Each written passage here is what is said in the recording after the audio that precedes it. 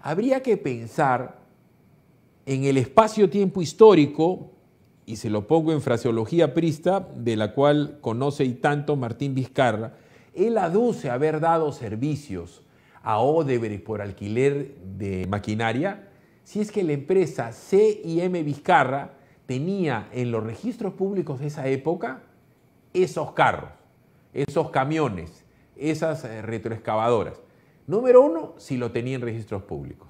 O si lo tenía en propiedad, porque si ellos tenían un arrendamiento financiero, también eso sale en registros públicos, que al determinada empresa, no sé, pues Sogevis, el leasing, Banco y el, el leasing que usted quiera, tiene esas mercaderías. No vaya a ser que el señor Vizcarra no haya tenido maquinaria.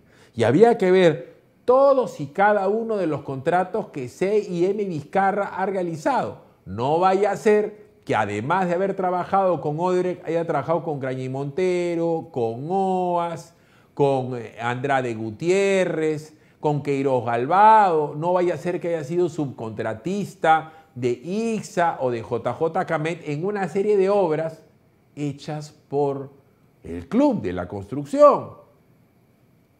Digo, ¿no? Hay que investigar.